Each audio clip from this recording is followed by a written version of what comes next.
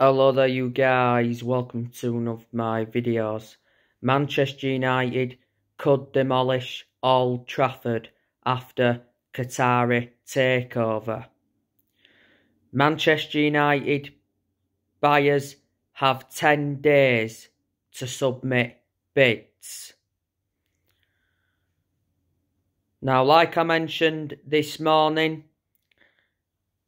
Qatari investors are planning a massive offer for Manchester United. The group are confident the bid will blow rivals away. Should the takeover happen, Erik Ten Hag will be handed a huge transfer kitty. It mentions that Emir of Qatar is interested in buying Man United for 4.5 billion. Manchester United could be blocked from playing in the Champions League next season because of UEFA rules around club ownership.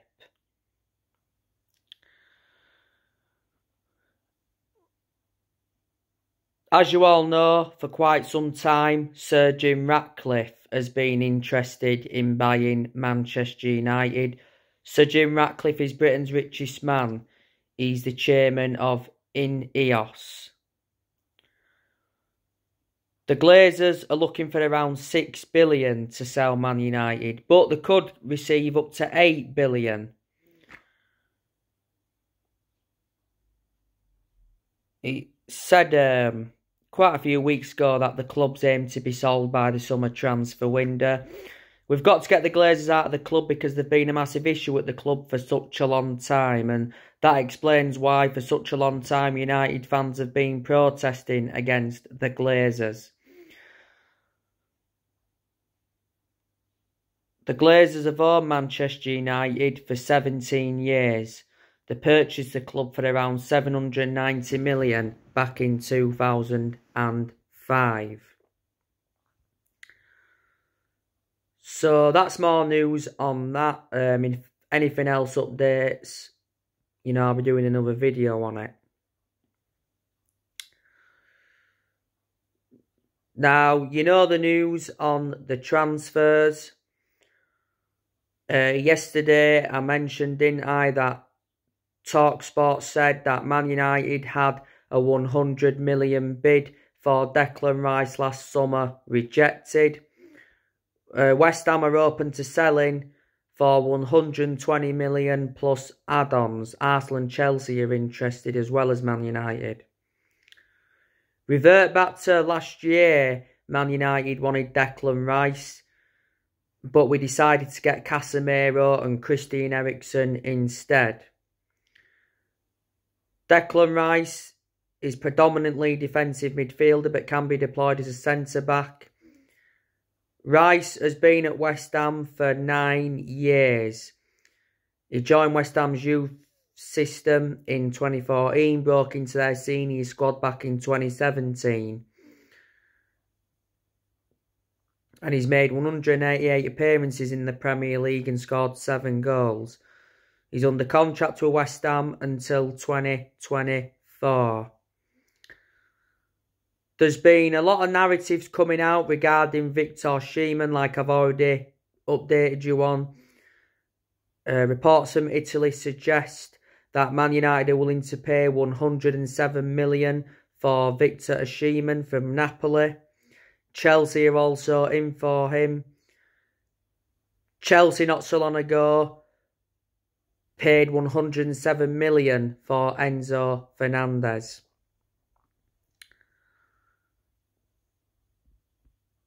And Harry Kane, as you all know, Tottenham Hotspur will not sell Harry Kane to a Premier League rival. Harry Kane is urged against move. You know, Harry Kane is Tottenham's all-time leading goal scorer um, he's got 200 Premier League goals. His 200th Premier League goal came in Tottenham's 1 0 win against Manchester City last weekend. I think Harry Kane will be Man United's number one summer transfer target.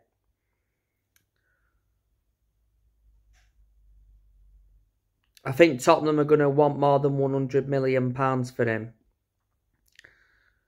Kane has won the Golden Boot quite a few times at Tottenham. He's been at Tottenham for 19 years.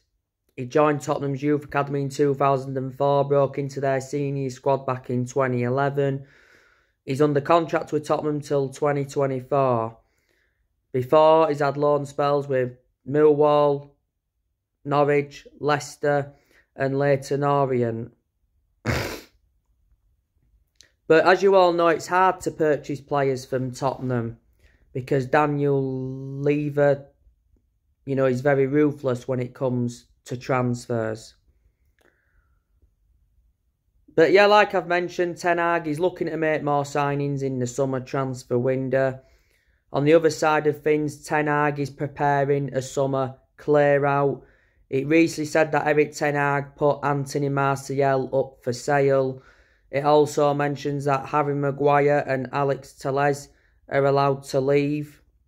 Um, McTominay, he's been mentioned as well, so too has Donny van der Beek. So Ten Hag could get rid of up to six players in the summer. So far, Ten Hag has enjoyed two transfer windows as Man United manager. Back in January, Ten Hag brought three players in on loan.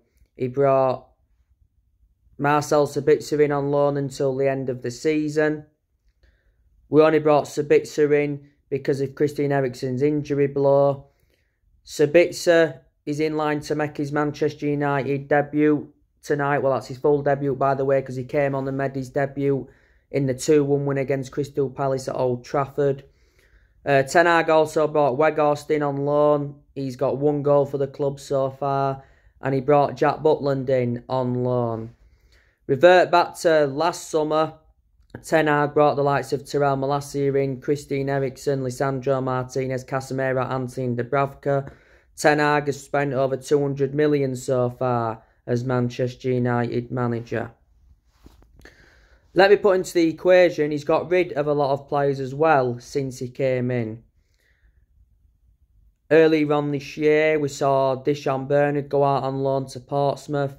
Axel Tuanzebe went out on loan to Stoke.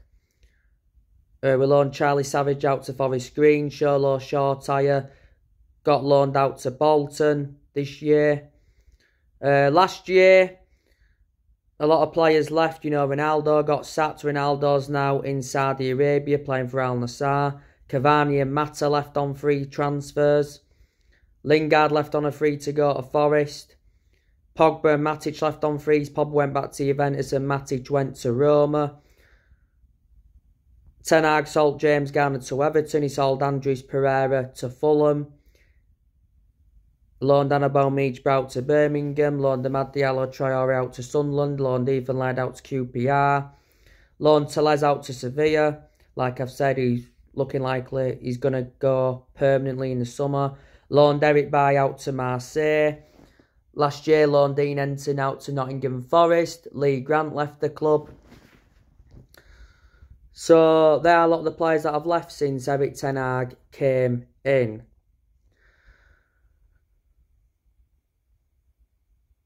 Ten Hag is a good manager. You can see the progress he's made as Man United manager so far. He's got us to the Carabao Cup final. Man United playing Newcastle in the final. Um, it's Newcastle's first Wembley final since 1999. Man United played Newcastle in the FA Cup final back in 1999, don't forget. You know, Ten Hag did mention that winning against Newcastle will be tough because they've been good this season, Newcastle. Uh, they've been good since they had that takeover by the Saudi Arabians.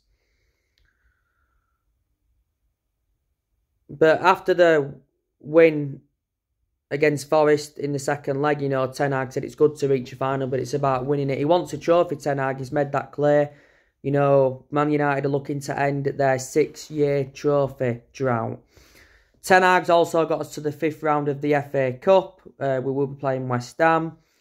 And he's got us into up to third in the Premier League.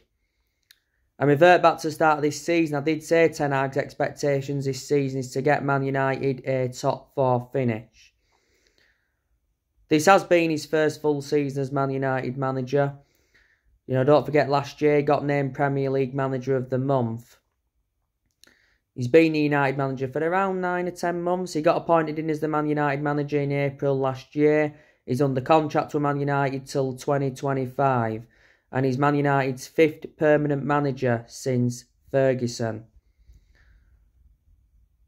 Because obviously Man United have let five managers go since Ferguson. Obviously, after Ferguson we had Moyes, we sacked him. After like eight or nine months, he only enjoyed a short managerial tenure at the club. Man United finished seventh under Moyes. After that, we had Van Gaal. We sacked Van Gaal after like two years. We did win the FA Cup under him. After that, we had Mourinho. Sacked him after two and a half years. He enjoyed one good season at Man United because he won three trophies in his first season. But he was poor in his second season. And prior to Ten Hag coming, I think that's the last time Man United were good in the first season under Mourinho. The reasons it didn't work out under Mourinho is because he had bad disputes with the board and bad disputes with the top players and that.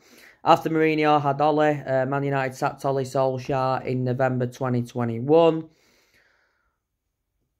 Over a year ago now.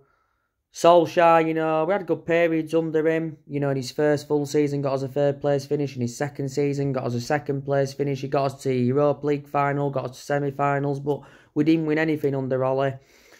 And after that, Man United had Ralf Rangnick as interim manager. He was Man United's interim manager for around five months. so there you go. And in the last 10 years or so, Man United have spent over £1 billion. The last time Man United won the Premier League was back in 2013. That's 10 years ago now. It's going to be hard for anybody to replicate what Sir Alex Ferguson did at the club.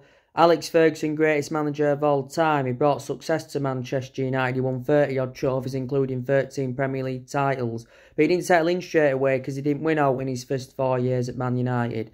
Alex Ferguson was the Man United manager for around 26 years, so he was a long serving manager. Um, 10 years ago, Ferguson retired. Obviously, before Ferguson, we had the likes of Ron Atkinson. As far as I'm aware, weren't that good under him. One point, we had Wilf McGuinness, weren't that good under him. We had Frank O'Farrell.